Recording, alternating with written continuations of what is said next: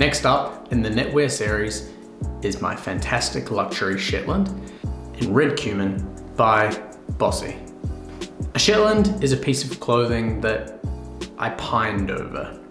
It's an iconic piece of menswear and typically worn in Ivy League styled outfits.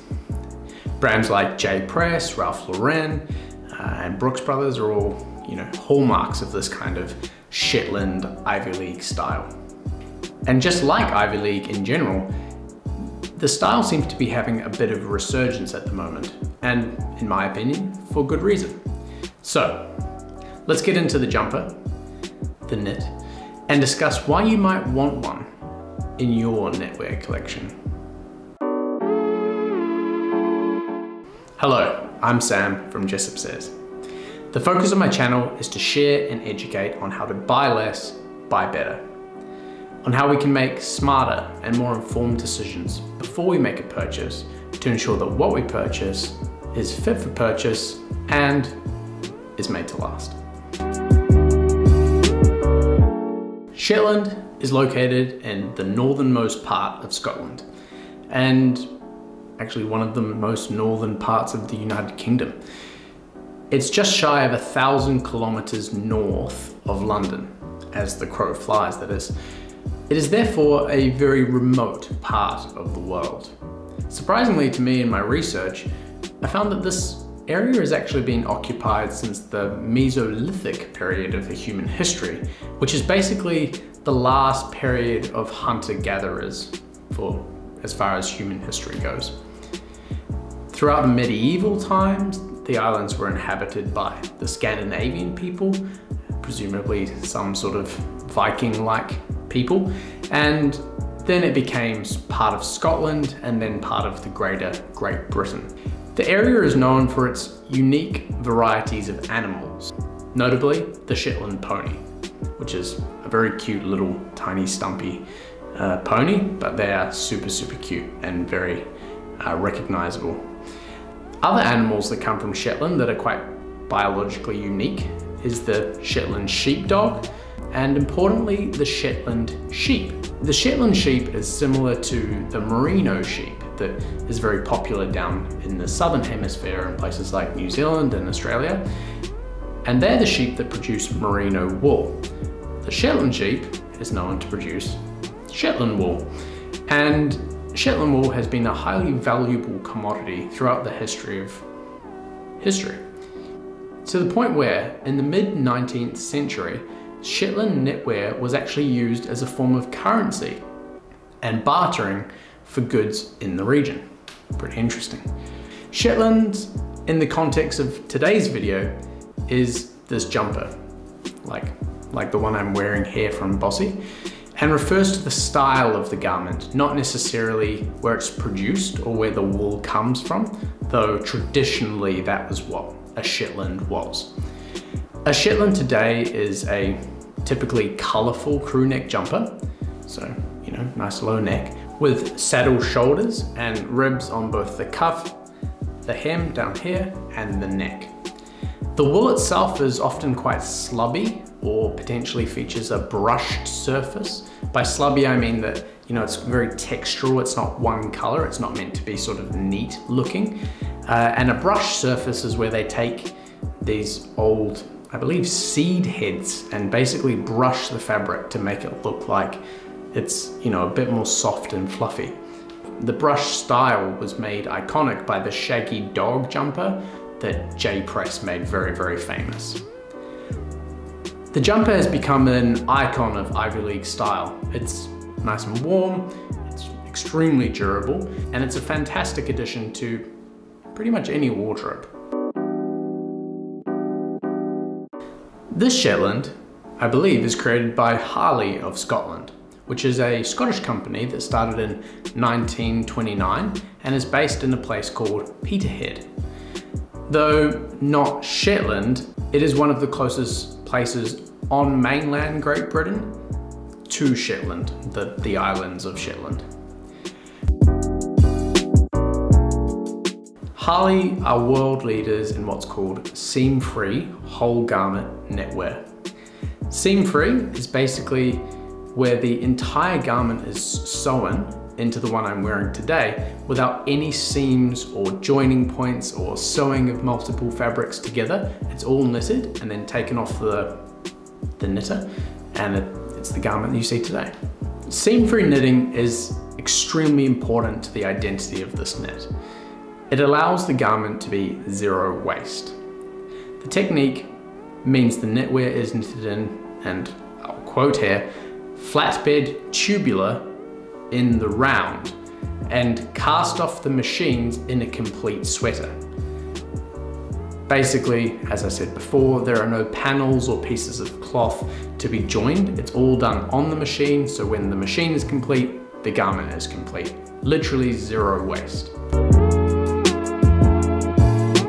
12% cashmere, 88% Shetland wool with a seamless saddle shoulder this is sort of the most succinct way to describe the Bosie luxury Shetland. So what makes it luxury?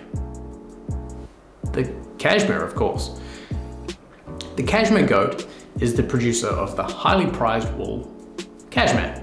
Surprising that one. And it's one of the softest and most sought after fabrics in the world.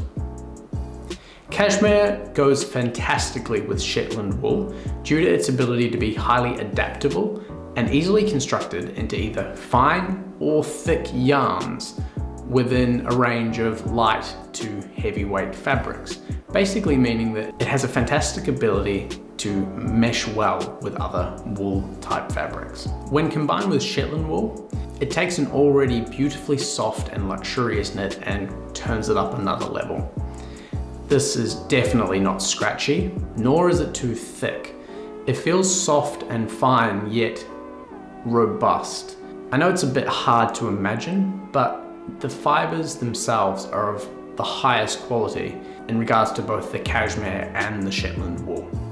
I know this because Harley pay close attention to the sustainability standard as well as the environmental and ethical sourcing of their raw materials and it really does pay off.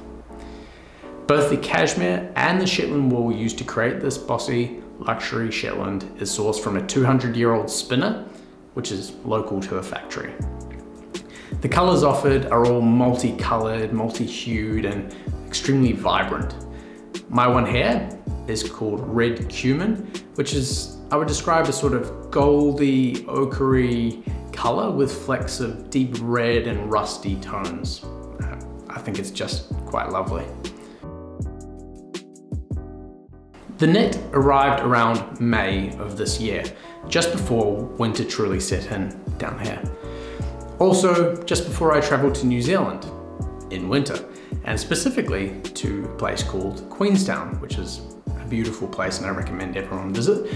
It's a place known to be quite cold in winter, you know, it snows there regularly. So over the short five month span of my owning of this jumper, it's had quite a good amount of wear. I thought I'd share with you my first impressions. It has to be said that yellow might be my least favorite color, but red cumin is an absolute joy to wear. There's just something about it. It's kind of vibrant, maybe even happy. It reacts to light, changing from a deep gold to a lovely rust, just depending on where you're standing or what kind of light situation you're in. And you might think that this shade is actually quite difficult to wear, but we'll get to that a bit later. The fabric itself is of course a standout. I know I've spent a lot of time talking about it already, but honestly, it's just superb. It has a unique ruggedness to it. The fabric sort of feels like it's gonna last longer than I'm going to live. I don't know how to describe it. It's just very soft and warm, but it's definitely not something that's going to make you sweat if it's too warm. I've worn it in weather that goes up to around 20, 25 degrees Celsius, and I've found it to be absolutely fine, if a bit toasty. Finally, the fit. The fit is typical Ivy League, a style that I'm clearly fond of. It's nicely tailored down the arms to the ribbed hem, and the body is fairly straight, but the hem at the bottom does add a tailored touch to it and sort of cinches in at the waist. It's very comfortable and not at all restrictive. Let's finish with some outfit inspo. Starting off with my favorite combination, with my Mawson Ossa jacket made from this beautiful fox tweed and a pair of chinos from a company called Casatlantic. It works great over a pair of flannels if you wanted to step it up a bit in terms of both formality and warmth.